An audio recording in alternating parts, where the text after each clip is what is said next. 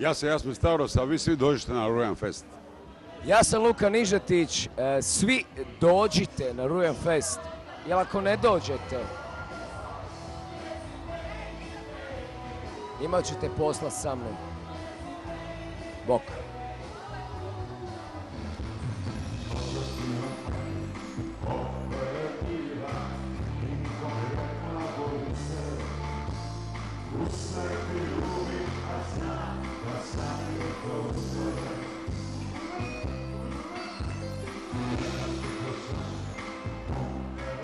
Rujan Fest uvijek je bila dobra atmosfera, ja sam svake godine pijao na Rujan Fest, ovo prvi put ovdje pijao na ovoj lokaciji.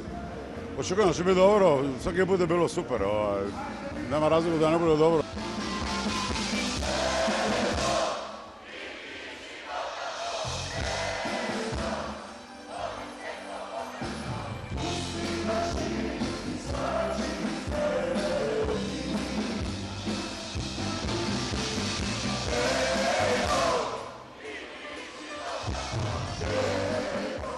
Ipak je Zagreb i okolica preko milijuna ljudi, tako da nije problem.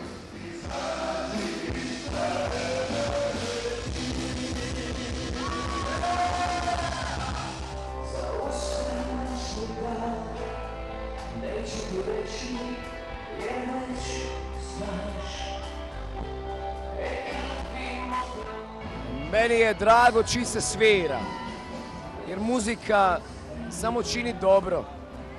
Tako da ovakvih festivala šta više.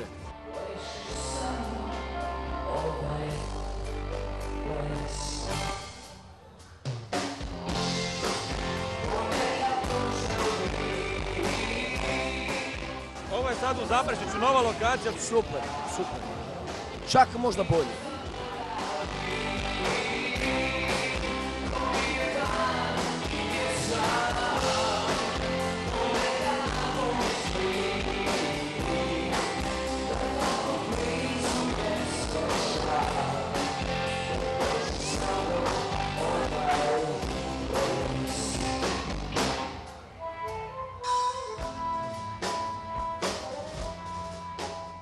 Meni je bilo lijepo. Mislim, e, najljepši osjećaj je kad se sjedinite svi. A ovaj put je bilo to. Baš smo bili jedno. Popali smo. Ali bez muke nema nauke.